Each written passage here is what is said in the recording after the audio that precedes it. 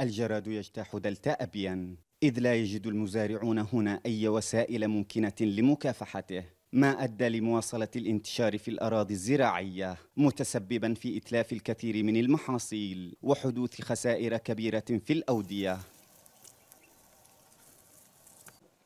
الجهات المسؤولة في المحافظة تقول إنها تبذل جهودا حثيثة لتقديم المساعدات اللازمة للمزارعين في مكافحة الجراد. الذي غزا أجزاء واسعة من الأراضي في مناطقهم.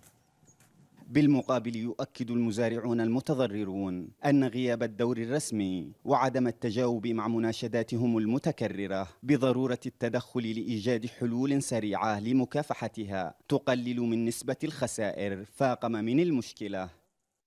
قمنا بجهود من تلقاء أنفسنا لمكافحة الجراد لكننا فشلنا. فشلنا ولم نستطيع.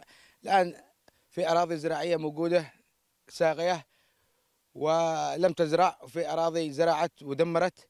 وإحنا منتظرين من السلطة المحلية حتى يجيبوا لنا سيارة واحدة لمكافحة الجراد وطبعا لا حياة لمن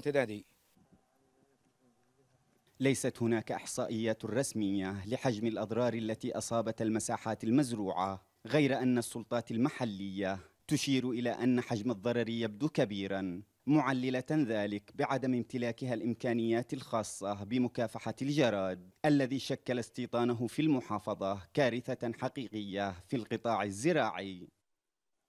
لطفي إبراهيم قناة بلقيس ابين